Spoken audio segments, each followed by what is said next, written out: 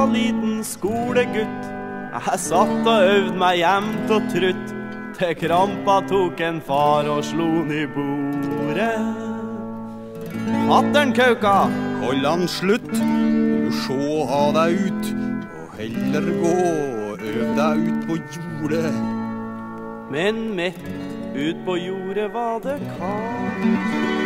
Og stivspeika kurskitt overalt. Og ventiland var frosset fast i sis og ass. Så hele janitsjaren gikk i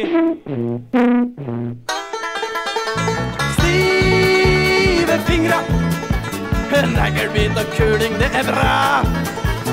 Stive fingra får du tidsnok om du øver mer enn far din kan fordra.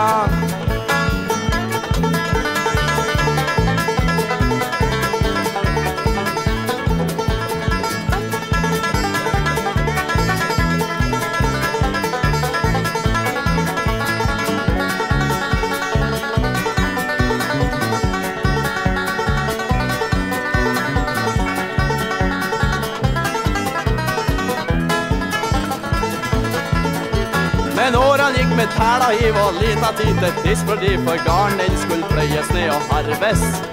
Med plog og spade, hakk og spettende vekselbruk, det er ikke lett for en som ikke heller spiller blågress. Men hver høst når ånda var forbi, fant jeg fram sigøynerfela mi.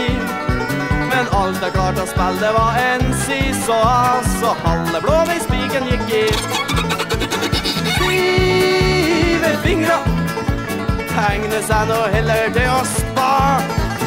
Stive fingre får du tidsnok på den dagen da du vandrer herifra.